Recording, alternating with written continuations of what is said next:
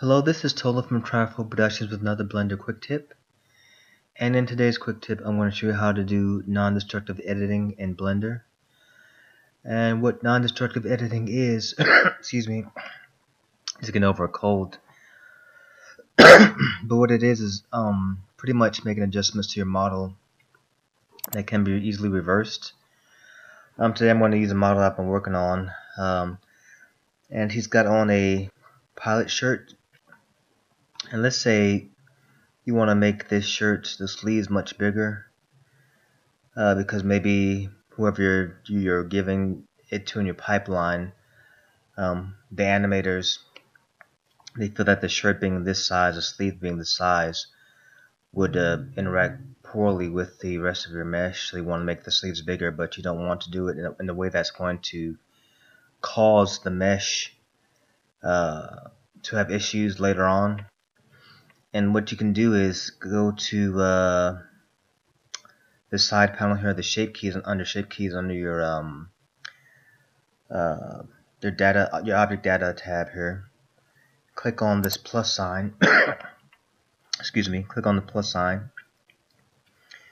And when you do that a, another shape key uh, element comes up. You can double click on that to rename it and I'm going to rename it um, sleeve adjust. Okay. And then you underneath uh, that you'll see a value slider and move that all the way up to, to 1 you can click and drag it or you can just click inside and enter it enter one uh, with your keyboard. And then when you've done that go into edit mode. When, when your uh, mesh is selected go into edit mode by pressing tab. And um, so I'm going to make this sleeve bigger. What I'll do is that I'll hold down the alt key on my keyboard and then make sure I'm in face mode uh, in Blender. Hold down the alt key and then click right in between these two faces and it will select this ring of, of uh, faces here. Once I've done that I'm going to go down here to the bottom of my window and click on this little circle here click on that and then choose connected then once I've done that, I'm going to press S on my keyboard. And then that's going to scale it bigger and smaller. And to control the influence of that, um, of the button I just clicked, I'm going to scroll down on my mouse, my mouse wheel. It's pretty big now. I don't even know how I got this big. Uh, let me see. Let me scroll down. I'm scrolling the wrong direction here. Okay. Okay, there we go that circle shows the influence that um, my selection is having on the rest of the mesh. It's pretty handy once that's been activated. And once I've done that, I can move up or down with my mouse and make the sleeve bigger.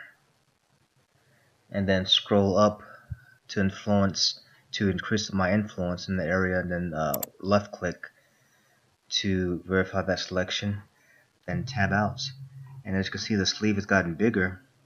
And I can go back to my slider over here and, and go up and down to make it bigger or smaller. And that's how you can edit a mesh in Blender uh, non-destructively.